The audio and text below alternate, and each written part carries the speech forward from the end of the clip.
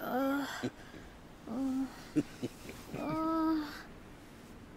All right. Uh-huh. Wedding scene, take one. And action!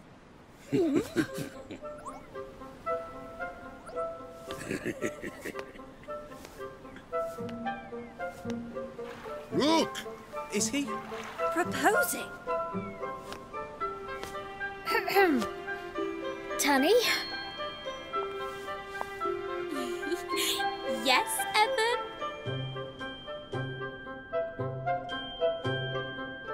Oh, just get on with it, will you? It's make-believe, remember? Yes, yes, of course. I, um, I, I can bear it no longer. I care not a jot if, um, if love be forbidden. My feelings for you cannot be tamed. I must scream it from the rooftops. That's it. Go on. Uh, will you? Uh, will you marry me? Was that the right of the ring? A marriage proposal? In broad daylight? Surely not. If Master Leander finds out, they will rot a year in jail.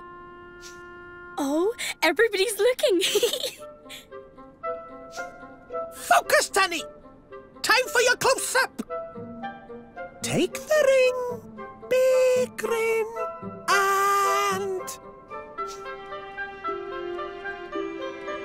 well, Evan, you know what comes next.